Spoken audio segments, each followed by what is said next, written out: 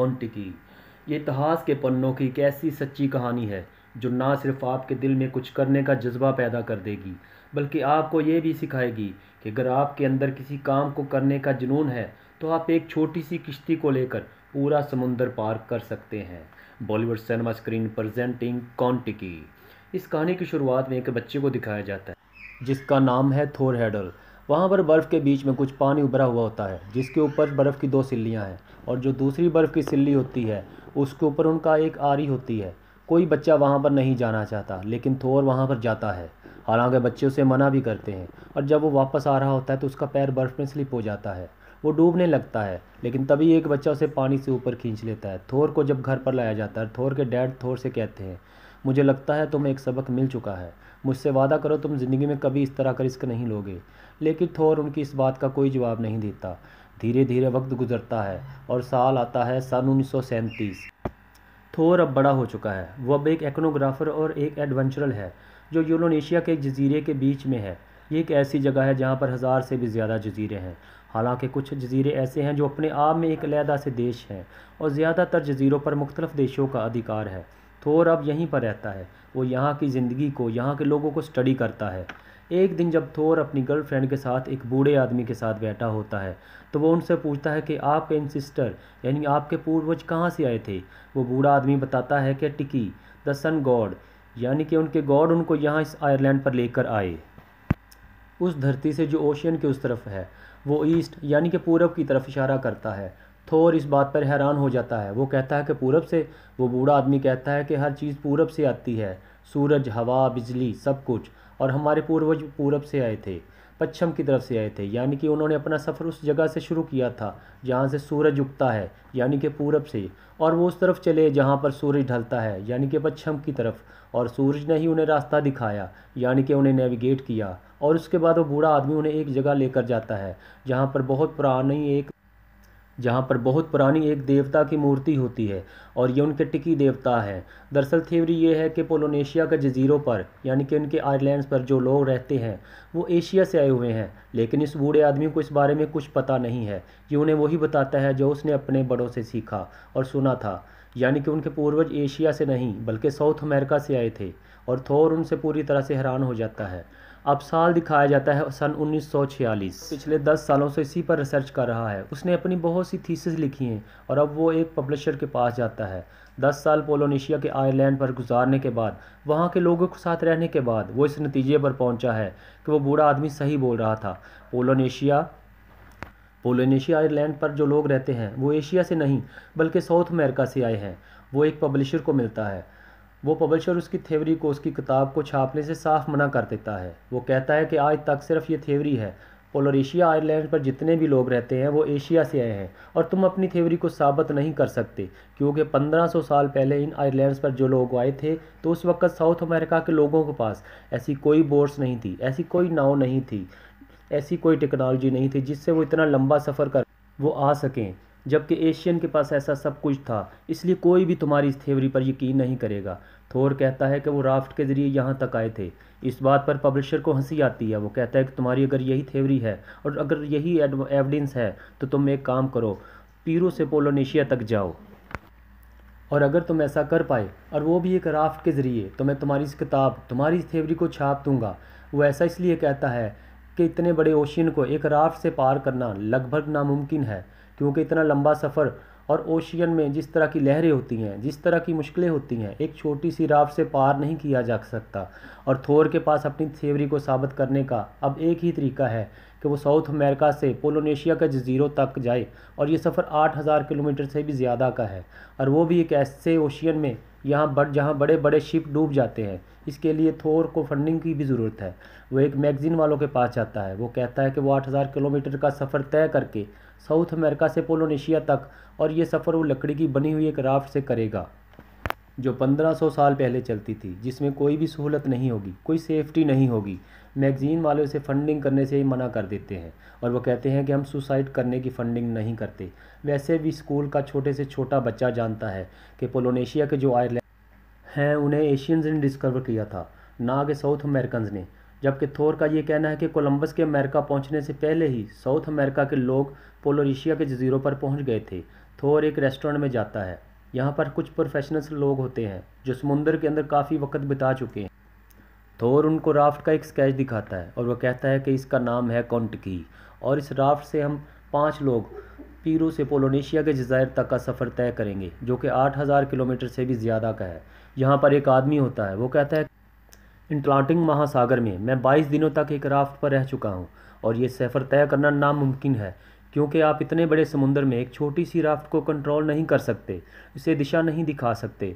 और जो राफ्ट का डिज़ाइन तुमने बनाया है, इसके बेस में जो तुम लकड़ियाँ लगाओगे, उन्हें तुम रस्सियों से बांधोगे, कुछ ही दिनों में वो रस्सियाँ टूट जाएँगी और हम समुद्र में फंस जाएँगे और वहाँ हम एक ही चीज़ का इंतज़ार कर सकते हैं, और वो है मौत।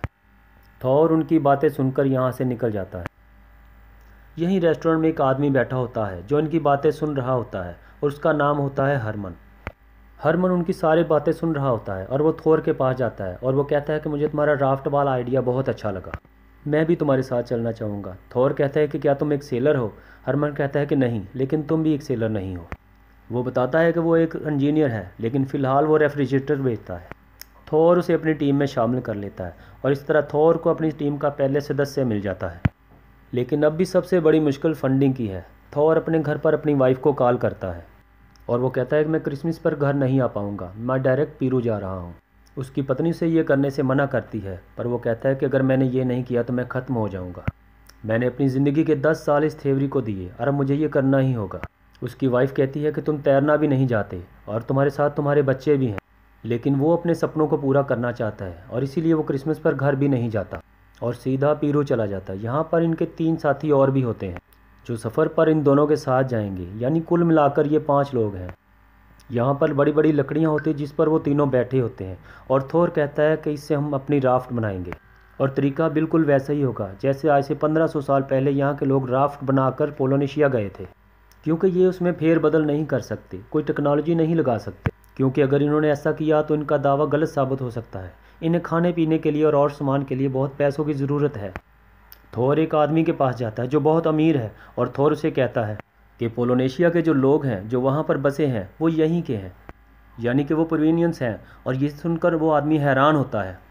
लेकिन वो इस तरह थौर को पैसे, और इस तरह वो थौर को फंडिंग करने के लिए तैयार हो जाता है और इस तरह से थौर को और उसकी टीम को पैसे मिल जाते हैं। उनके सफ़र की खबर न्यूज़पेपर में भी छपती है और यहाँ पर एक फ़ोटोग्राफ़र आता है। और वो भी थोर की टीम में शामिल हो जाता है ताकि वो पूरे सफ़र को कवर कर सके। ये अपनी राफ्ट बना लेते हैं और उनको अलविदा करने के लिए कई लोग समुंदर पर आते हैं। और सबको यकीन है कि अब कभी कोई इन्हें दोबारा नहीं देखेगा, क्योंकि ये सफ़र बहुत मुश्किल है और ये एक बहुत बड़े ओशन में छोटी सी राफ्ट लेकर उतर जाते हैं। और इन छः लोगों के पास आज से 1500 साल पहले के तरीके से बनी हुई लकड़ी की एक राफ्ट खाने का कुछ सामान और एक छोटी सी सेफ्टी बोट और एक रेडियो होता है और इनकी राफ्ट अब धीरे धीरे समुंदर की गहराइयों में जाना शुरू हो जाती है। और एक रात को जब ये सब सो रहे होते हैं तो समुंदर में एक बहुत बड़ा तूफ़ान आता है और थोर जब राफ्ट की सील को हटा रहा होता है तो वह एक झटके के साथ समुंदर में गिर जाता है। थोर को तैरना नहीं आता, लेकिन उसके साथी उसे समुंदर से ऊपर खींच लेते हैं, यानी कि वो राफ्ट पर आ चुका है और इस तरह से थोर की जान जाते जाते बचती है। और अगली सुबह जब समुंदर पूरी तरह से शांत हो जाता है तो वो ये देखते हैं कि इनकी राफ्ट को बहुत नुकसान पहुँचा है। और ये सब मिलकर अपनी राफ्ट को रिपेयर करते हैं। इन्हें आज राफ्ट पर चार दिन हो चुके हैं और धीरे धीरे ये अपने सफ़र, अपनी मंजिल की तरफ़ बढ़ रहे होते हैं। लेकिन समुंदर इतना आसान नहीं होता। बीच समुंदर में इन्हें एक बहुत बड़ी वेल दिखती है।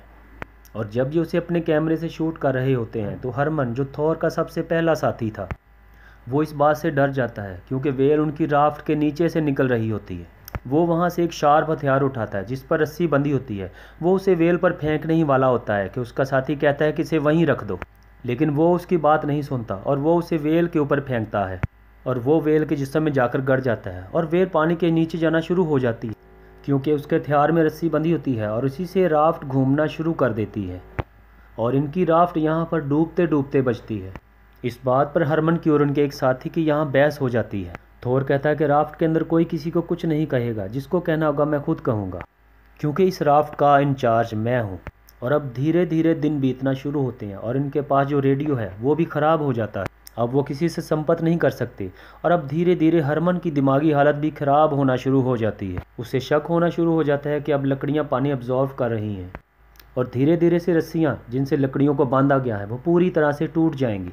और ये सब डूब कर मर जाएँगे। दरअसल ये सारी बातें रेस्टोरेंट में उस आदमी ने कही थी, थोर जिसके पास सबसे पहले गया था। और अब हरमन के दिमाग में यही सब बातें घूम रही होती हैं। इन सब के साथ में जो वो आदमी होता है, जो कैमरा मैन होता है, जो इन सबको रिकॉर्ड करने आया है, वो सेफ्टी बोर्ड पर बैठकर राफ्ट से दूर चला जाता है ताकि वो उनको शूट कर सके। और जब वो इन्हें रिकॉर्ड कर रहा होता है, तभी पानी में एक बहुत बड़ी शार्क आती है। यहाँ पर समुद्र में बहुत सारी शार्क है, जो कभी भी इन पर हमला करके इनको मार सकती हैं। और इससे पहले कि शार्क उस बोट पर हमला करती, थोर जल्दी से रस्सी को खींचकर उस आदमी को बोट पर ले आता है।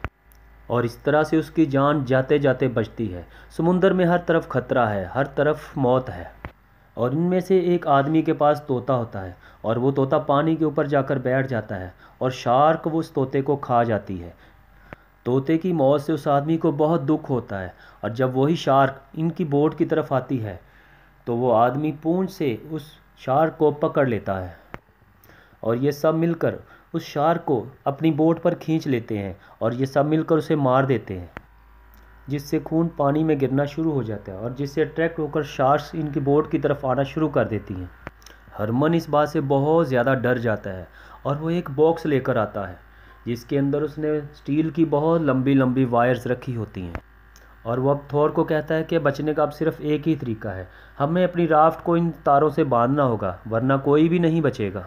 लेकिन थोर कहता है कि हम वैसे ही जाएँगे। जैसे आज से 1500 साल पहले लोग यहाँ से गए थे और वो स्टील की तारों को समुंदर में फेंक देता है। हरमन का दिमाग ठीक से अच्छे से काम नहीं कर रहा था और उसका पैर फिसल जाता है और वो पानी में गिर जाता है। और इससे पहले कि शार्क्स उसे अपना खाना बनाती, उसे पानी के ऊपर खींच लिया जाता है। ऊपर आकर हरमन सबसे माफ़ी माँगता है, क्योंकि वो जानता है कि उसने गलती की थी। यहाँ पर इनके साथ सबसे बड़ी प्रॉब्लम ये होती है कि इन्हें ये भी पता नहीं होता कि ये सही रास्ते पर हैं या कि नहीं। इनका नेविगेटर जिसका नाम मैरक है, वो कहता है कि शायद हम सही रास्ते पर नहीं हैं। लेकिन थौर को यकीन होता है कि वो सब सही रास्ते पर हैं। इतने लंबे सफ़र के बाद ये सब लोग मेंटली फिज़िकली पूरी तरह से टूट चुके हैं।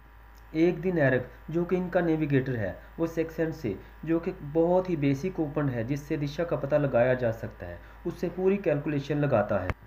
और वो थोर के पास आता है और उसे बताता है कि ये सब बिल्कुल सही दुरुस्त समझ पर हैं। और ये पोलोनेशिया की तरफ़ बढ़ रहे हैं और आज लगभग तीन महीने के बाद इनकी राफ्ट पर खुशियाँ आई हैं।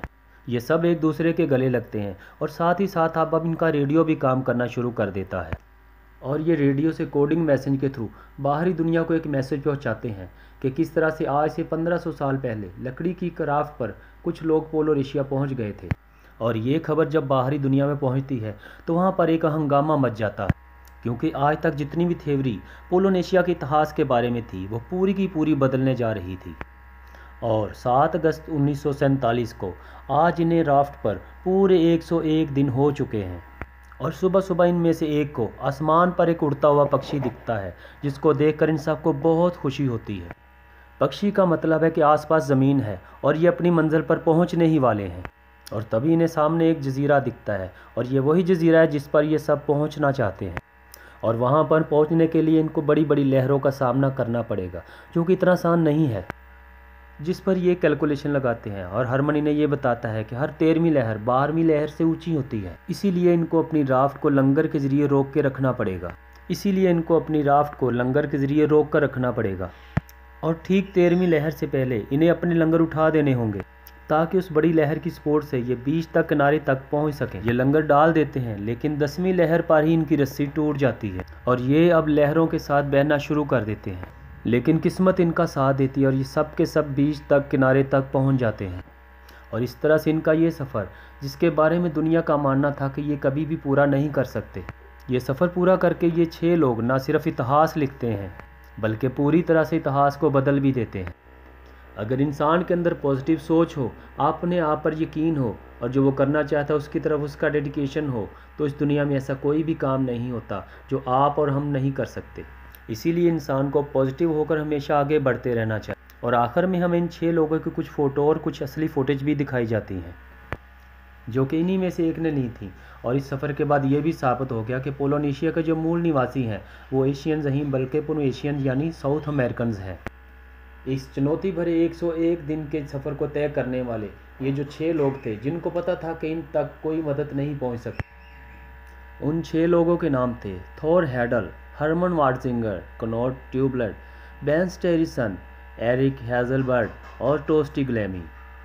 इन छः लोगों ने अपनी जान पर खेलकर इतिहास के पन्नों पर अपना नाम हमेशा के लिए दर्ज कर लिया। जिस नाव से इन लोगों ने अपना समंदर पार किया था, उस नाव का नाम कौन टिकी है? जिसे आज भी म्यूज़ियम में रखा हुआ है और हर साल हज़ारों लोग इस नाव को वहाँ पर देखने आते हैं। ये फ़िल्म सन 2012 में रिलीज़ हुई थी और पहली बार किसी नॉर्वेजियन फ़िल्म को आस्कर और गोल्डन ग्लोब अवार्ड में एक साथ नॉमिनेट किया गया था। अगर आपको हमारी ये कोशिश पसंद आई है तो प्लीज़ हमारे चैनल को सब्सक्राइब करें। Thanks for watching.